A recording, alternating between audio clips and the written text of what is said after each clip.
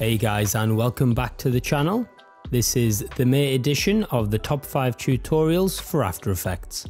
I would like to say a big thank you to everyone who has been watching my videos and to those who are new, welcome. And also to those who subscribe and give us a like, it's very much appreciated. It's the fifth month and we have five more amazing tutorials. I'd just like to add that over the coming months I will be releasing some of my own tutorials.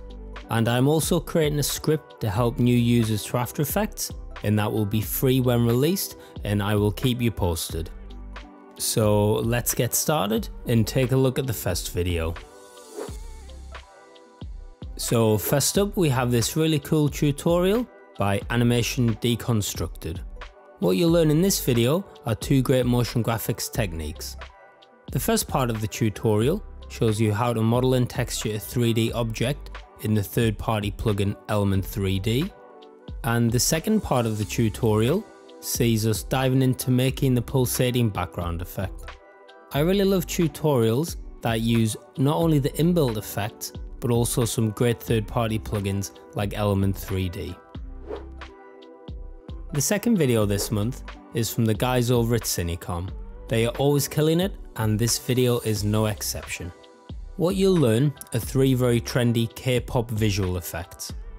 These are an eye zoom transition, a glitch transition, and an eye glow trail effect. Aside from learning to create these effects in After Effects, you also get to see what happens on the pre-production side of things. You see them set up the scene and explain what they are doing, also, understanding this side of production can help when you are trying to figure out new techniques for yourself. All in all, another stellar video from these guys. The third tutorial is by Evan Abrams, and quite frankly, who doesn't love a video about creating emojis? What's fantastic about this tutorial is not just the sheer depth Evan goes into explaining how to create this effect, but also how you can also use stock elements and still create really cool work. I'd love to pinpoint a specific area of the tutorial, but honestly, it's just worth watching. The fourth video comes via Motion Nations. In this tutorial, you will learn how to place text into a 3D scene. What I really like is that we delve into a couple of different areas. Firstly, we look at how to get tracking data or tracking points from a piece of footage and we do this using the 3D camera tracker. And afterwards, we learn about not only using text layers, but using 3D text layers. This is a whole new realm, and there's so many more possibilities. Check it out. And the last video of the May roundup is from Ukramedia. This video focuses on an area of After Effects you may not be familiar with, and that's scripting. Scripting offers you the ability to create scripts, build tools, and automate your workflow.